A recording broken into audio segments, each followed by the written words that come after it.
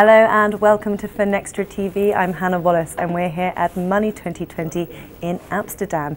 Kindly joining me now in the press lounge is Andy Ellis, CEO of Mettle and Head of Digital Assets for NatWest. Andy, thank you very much for stepping away from the busy event to join us in the press lounge. Well, thanks for having me. Really good to have you on. Now, I know you're uh, very busy at this year's Money 2020 and uh, speaking on stage, the big picture stage, about the lessons challenger banks can learn from their predecessors um, in past years' traditional banks. So that's an interesting one. Tell us a bit more about uh, the angle and what you hope to cover on stage. Um, first of all, I hope to be helpful. I'm not here to bash uh, the neobanks. I think they're doing a fantastic job. Um, but I've been fortunate enough to, to build a bank, Mettle, within a bank, NatWest. Mm-hmm. So I can I can see the world from, from both sides. So I think there are lots of lots of things that the challengers can learn. I mean, they've, they've done a brilliant job in terms of transforming uh, the customer uh, experience, mm-hmm. um, but lots around compliance and making money and scaling safely that I think they can uh, they can definitely learn from the uh, the traditional banks. All right, okay, so a lot to learn then. Uh, what do you think are going to be uh, those main new challenges that challenger banks are going to experience, and uh, how can we begin uh, to meet those challenges? I think on a, on a few levels. I mean, as, as they grow up, um, you know, it, you've got to really have a, a view on compliance and fraud and, and, and, keeping people safe and the, the economy safe.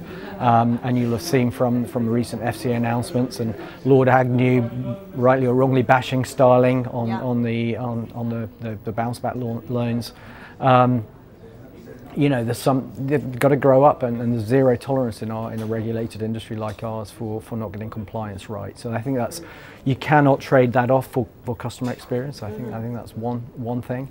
Um, profits as VC uh, cash, I assume it's going to get less plentiful um, and, and the, the, investors are going to be looking to make money. Uh, and there aren't that many neobanks making money right now, so I think they're going to have to find a way of not going for growth, but finding ways of going, uh, going for profit, and, and that will require, you know, as, as interest rates go up, some kind of traditional banking stuff like, like lending uh, which is quite hard to do, especially to, to consumers. It's highly regulated. Sometimes they don't pay back, um, and you've got to learn the skills to do that. And I think I think there's uh, you know figuring out how they're going to make profit and quickly is going to be quite important. Sure. So still some way to go then. So uh, we've covered the challenges. Can uh, we uh, go from there a bit more of a positive note? Talk yeah. about some of the opportunities involved as well. Um, some of the opportunities for challenger banks. Well, I think they've got. I mean, the beauty of it is a fantastic platform, and, and as many of, of, are doing, they're going international. So you'll see lots of companies starting in the UK, going to Europe, going to, to India or the States and what have you. So, so you can see why um, that's happening as, as they, they grow customers and, and, search for profitability. So I think that continues to be an opportunity. Um, the back offices that have been built along the way, um, you know, they can be monetized. So as you're seeing with, with many of them, they're taking their back office, their, their core banking systems and, and, providing banking as a service. I think you, that is a trend you will see continue. And then I think um, there are a bunch of choices that that neobanks need to make. One is, you know, do they want to provide a broad range of services like a traditional bank does, or do they want to go into particular areas of profitability, whether that's for example, trading cryptocurrency, whether it's starting to offer mortgages um, and being a bit more specialized. But um, there, there's some great platforms, foundations, and customer uh, customer bases on which to build profitable uh, products. Sure. All right. So watch this space. Now, coming back uh, to what you'll be discussing on stage um, mm-hmm. and the difference between challenger banks and these traditional banks, yeah. Uh, the crystal ball question, as it were. How do you see those roles evolving uh, as we move forward?